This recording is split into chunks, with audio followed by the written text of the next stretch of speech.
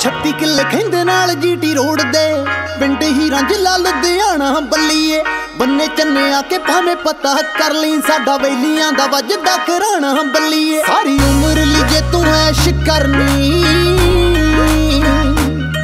ਸਾਰੀ ਉਮਰ ਲਈ ਜੇ ਤੂੰ ਐਸ਼ ਕਰਨੀ। ਕਹਿ ਜਾ ਸੁਹਿਆਂ ਬੁੱਲਾਂ ਦੇ ਵਿੱਚੋਂ ਹਾਂ ਜੱਟੀਏ। ਪਿੰਡ ਰਾਜਿਆਂ ਦੇ ਵਾਂਗੂ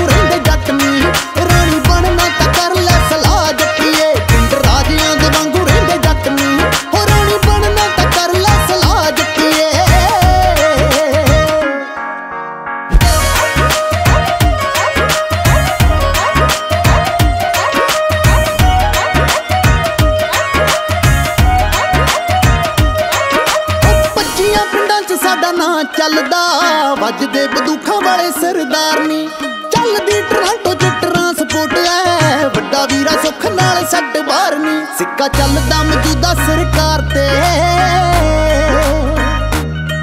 ਸਿੱਕਾ ਚੱਲਦਾ ਮੌਜੂਦਾ ਸਰਕਾਰ ਤੇ। ਡੀਸੀ ਮਿਲਦੇ ਨੇ ਘਰੇ ਆ ਜੱਟੀਏ, ਪਿੰਡ ਰਾਜਿਆਂ ਦੇ ਵਾਂਗ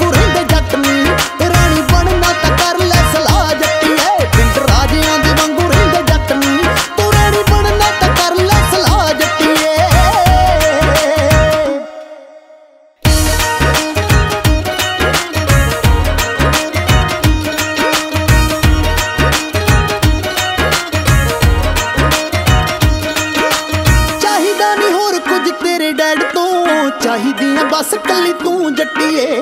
ਚੱਕਦਾ ਗਰੰਟੀ ਜੱਟ ਤੇਰੀ ਖੁੱਲ ਕੇ, ਲੱਗਣ ਨਹੀਂ ਦਿੰਦਾ ਪੱਟੀ ਨੂੰ ਜੱਟੀਏ। ਜੇ ਤੂੰ ਕਹੇ ਤਾਂ ਵਿਚੋਲਾ ਤੁਹਾਡੇ ਭੇਜਦਾ। ਓ ਜੇ ਤੂੰ ਕਹੇ ਤਾਂ ਵਿਚੋਲਾ ਤੁਹਾਡੇ ਭੇਜਦਾ। ਕਿਸੇ ਸਾਂਝੇ ਜਿਹੇ ਬੰਦੇ ਨੂੰ ਮਨਾ ਜੱਟੀਏ। ਪਿੰਡ ਰਾਜਿਆਂ ਦੇ ਵਾਂਗੂ ਰਹਿੰਦੇ ਜੱਟ ਨੀ।